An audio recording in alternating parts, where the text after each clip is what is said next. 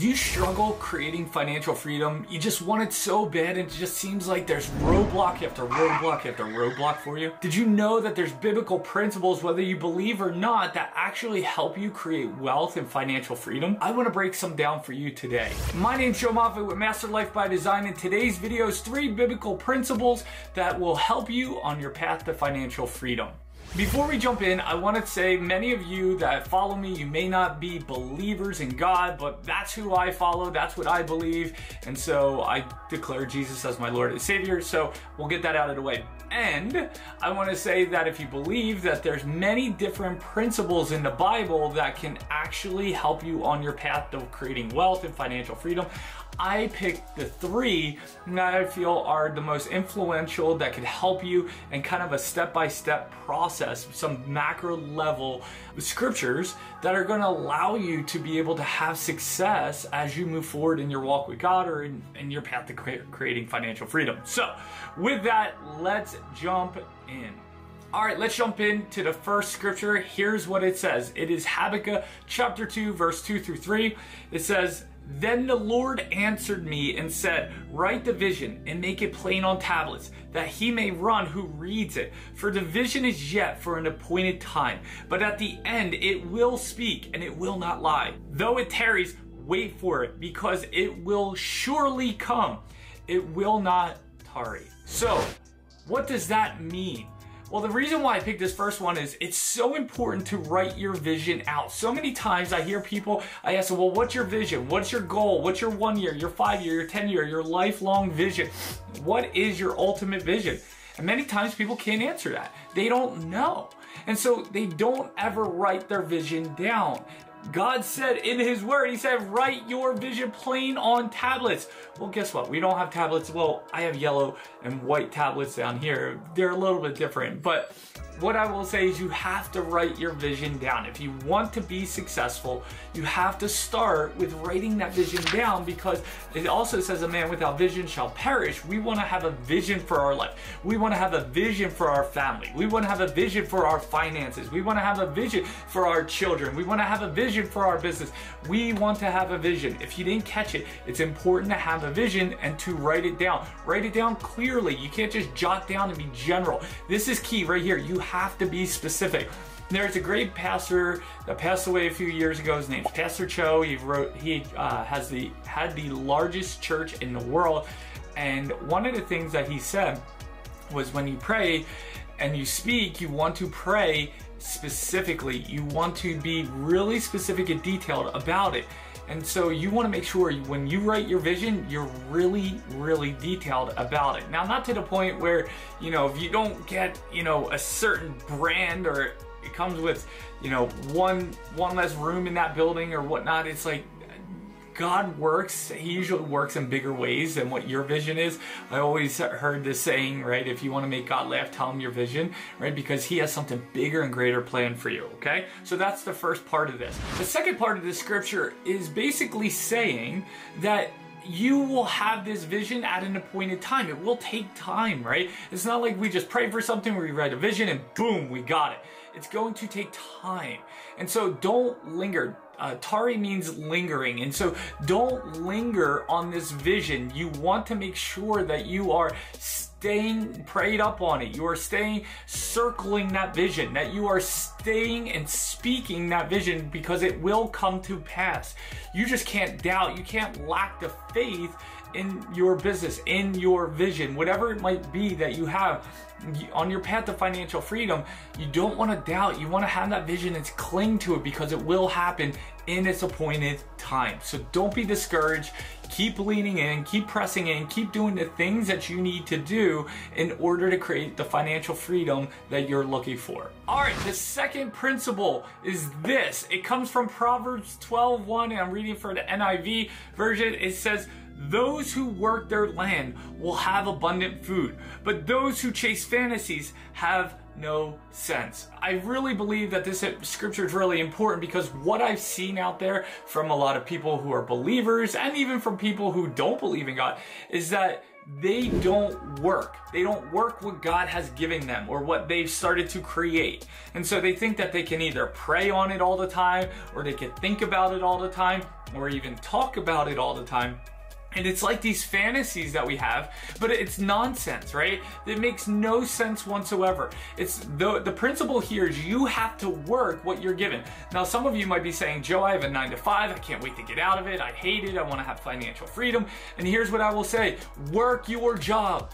I can't can't stand when people put nine to fives down. It's the one that puts food on the table, is a roof over your head. That job provides for you the ability to invest or to expand or get educated. So nine to fives are not bad. Hear me. Now, do we want to be in them forever? Probably not right? We want to start our own business. It's the quickest way to start creating the path to financial freedom. It's not the only path you can invest using your nine to five income. I've talked about it another time, but whatever you do, whatever you put your hand to, whatever, you know, land that you have, you want to work that land. So if it's your nine to five, great. If it's your business, great. If it's something that you're invest, you're a full-time investor, then work that land. You can't sit and just pray on it, think about it, talk about it. You have to actually put some action in. You actually have to put a lot of action in.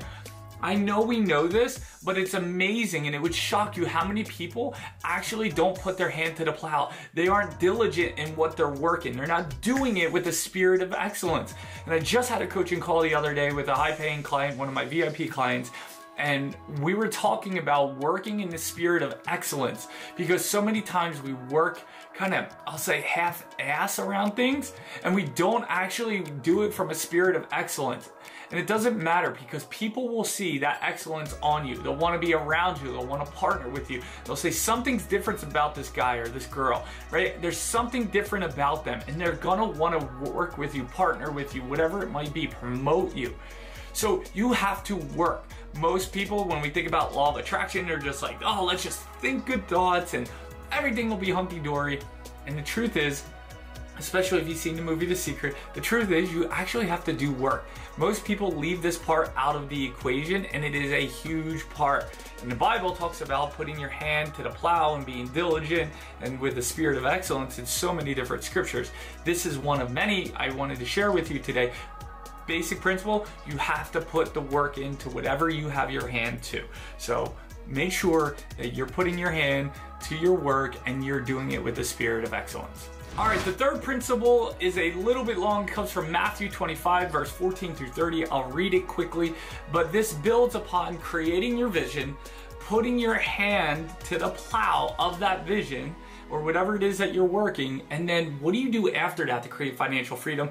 Matthew 25 talks about it. So let's read it here and we'll put it on the screen. This is the parable of the talents. It says, For the kingdom of heaven is like a man traveling to a far country who has called his own servants and delivered his goods to them.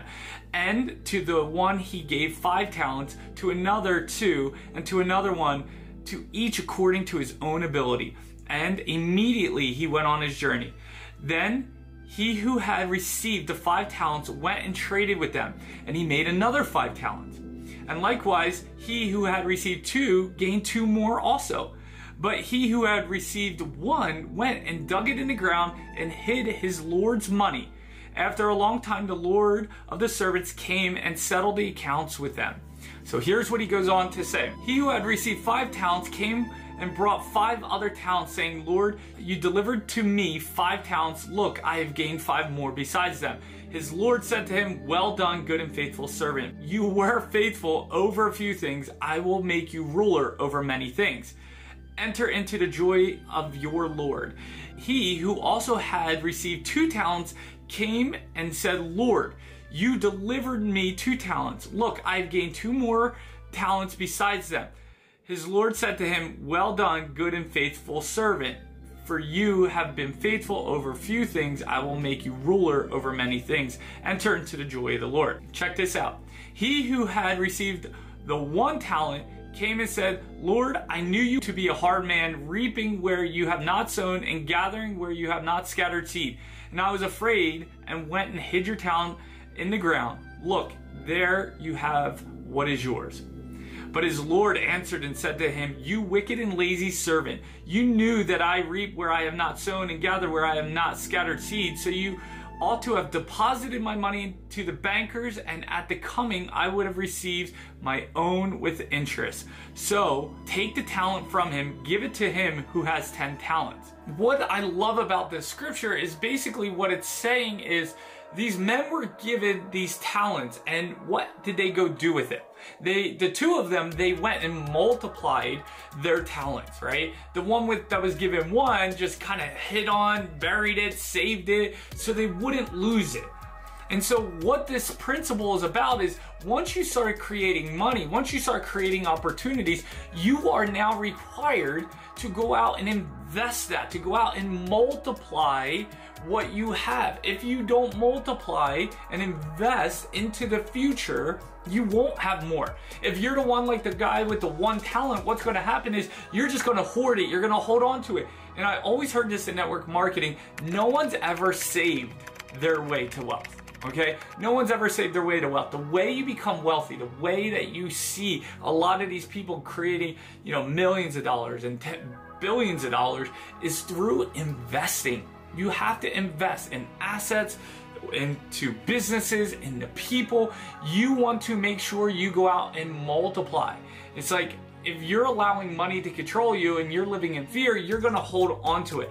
When in reality, we're not called to hold on to money. We're called to go out there and multiply, to take what God's given us and use those talents that we have to multiply our money. And that might mean that you need to get educated. You might, might need to hire a mentor, a coach, go to seminars, read books, and go out and learn how to multiply your money. That might be part of what you need to do, but you're certainly not called to hold on to it. If you want to take this third principle, you have to go and multiply your money. And if you're like, Joe, I don't know where to do that, I don't know how to do that, reach out. We can help. There's always opportunities here at Master Life by Design. We always have coaches available to help coach you through some of the limitations that you might have. Maybe you don't even know where to start. And so you need to start with Habakkuk 2.2, right? Write your vision plain on tablets.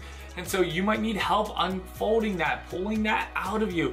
A coach can help you do that. So reach out if you need that help. All right, lastly, I want to give you a bonus scripture, a principle in the Bible that really sticks out to me that I live faithfully. I haven't always done this, but I have over this last decade plus been faithful and diligent in this. And I don't say that to brag about me. I say this because I want you to know that there's people out there doing this and seeing great benefits. And it's not that God's an ATM or anything like that. It's and I'll break this down here at the end, but it's about your heart. And so let me give it to you. It's Malachi 3:10. So it says, "Bring your whole tithe into the storehouse that there may be food in my house."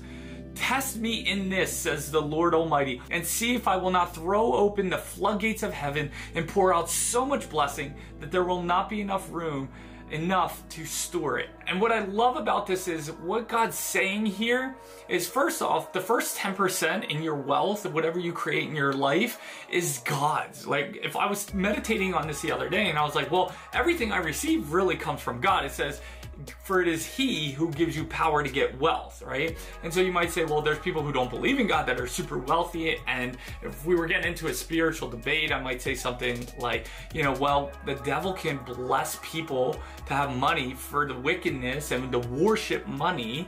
And so that's not what God wants for you. God wants you to worship him and look to him and lean on him. But that's a whole different story. But here's what I will say. The first 10% is God. And when I started giving 10% to God, the first 10, the first fruits, the best of what I got, my life radically transformed. I remember when I made, it was a Friday night, I was with my buddy and we were talking about how we weren't tithing, we need to get back into leaning in and putting God first. And so we both made the decision that we would tithe, we would start tithing. And I truly meant it in my heart.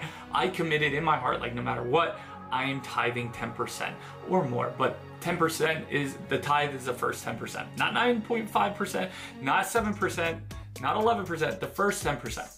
And so I made that commitment. The next morning we went for a run on the beach right before we were getting ready to take off. I got a text message saying, hey, look at your bank account. And there was $3,000 in there. Now, I didn't do the physical act, but God knew my heart, and man, I got blessed. Will that happen for you? I don't know. But here's what I will say. Well, the reason why this scripture is so true, and it's the only place in the Bible it says, test me in this. It's the only place that you want to test God. He says, test me in the finances, giving the first 10%. But the reason why you want to do this is not because you want to give God some so he can turn around and give you more. Although I do God believe God's a loving, abundant God. Everything is his. There's no limitation.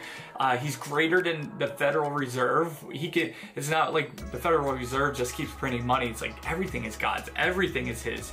Um, so what he wants is your heart. That's what he's after. He wants to see you give. And it's a biblical principle that when you give, you receive, right? When you sow, you shall receive. Maybe not right away, but in due season, you will reap your harvest. And so, this is one thing that's totally shifted in my life that I've always given. And when I give, and I give my tithe, but then there's offerings, or what we call giving, and that's above the 10%. And that's where God wants to see your heart. He's after your heart to lean on Him, to worship Him, not money. I used to worship money and I did not get blessed the way I wanted to be blessed. And so I know that if you apply this where you start giving, even if you don't believe, you'll start to see the rewards come back to you because these are biblical principles that whether you believe or not actually take place. And a lot in the secular world and for a lot of non-believers, they actually apply these things and they do get wealth. Why? Because they're biblical principles. But if you understand that your source comes from God and not from you, all of a sudden the game changes.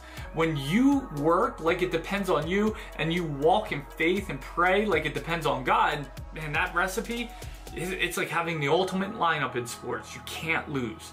And so I encourage you to lean in on this. All right, so there you have it. Those are the three principles plus a bonus for you. Now look, I know for many of you watching, you might not believe. For those of you that are watching and do believe, you know these principles are true and there's many others. I say the ultimate personal development book, the ultimate book of success in life, just not just finances or business in life, is the Bible. I mean, like that's where the source of all this really comes from. So anyway, with that, if you found value in this, give it a thumbs up, comment below. I know some of you might not agree, and that's totally cool. I'm totally okay with that, but this is what I believe, and this is what I've seen happen in my life, my client's life, and so many others. If you would just write your vision down, if you would work on it like it depended only on you, and if you would actually go out there and multiply your money, you would see your path to financial freedom accelerate rapidly. Doesn't mean there won't be challenges, but it does mean that it will come to pass if you stay faithful, if you stay working at it and you keep pushing and ultimately praying on it, you will see breakthrough. It will come to pass. So let me know what you thought in the comments below. Also, make sure you subscribe, click that notification button so you know when videos like this come out because there's more. We're gonna be doing more interviews with people who created financial freedom, are on their path to financial freedom, and break down how they actually do that so you actually have more details around these areas, especially in real estate, because that's the best asset class I feel for long-term wealth creation. There's many more, but that's the big one. So with that, my name's Joe Monfort with Master Life by Design. Have a great one. See you guys.